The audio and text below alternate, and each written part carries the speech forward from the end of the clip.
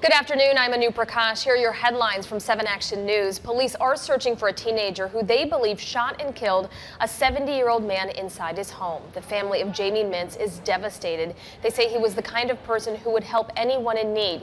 He was killed at his home on Mansfield near Plymouth on Detroit's west side. Investigators believe the suspect was the boyfriend of Mintz's granddaughter.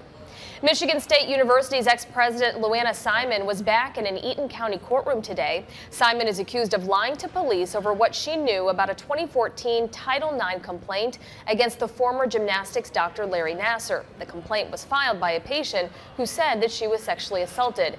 Simon says she never knew it was Nassar who was under investigation back in 2014, but the Attorney General's office says it has witnesses who say she did know.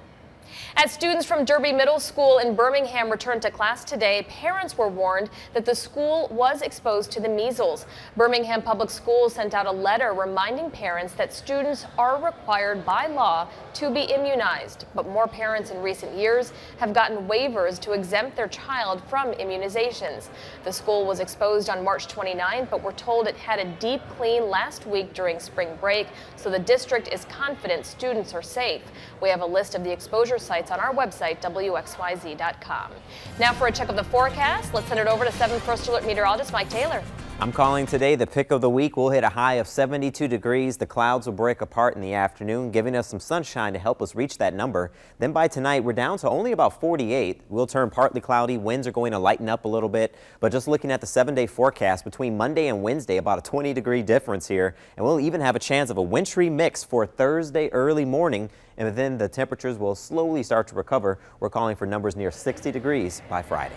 Anu? Mike, thank you. Well, that 72 degree forecast makes today a perfect day to take a trip to the zoo. It also happens to be National Zoo Lovers Day, and there's an extra special celebration happening at the Detroit Zoo. Today, it's releasing new pictures of the newest double hump camel, Tula. Look at her there. She was born on March 27. Tula joins her two siblings at parents at the camel habitat across from the Rackham Memorial Fountain. The zoo is open until 5 o'clock today. Those are your headlines from 7 Action News. Head to WXYZ.com and download our free 7 app for news anytime. I'm Anu Prakash. Have a great day.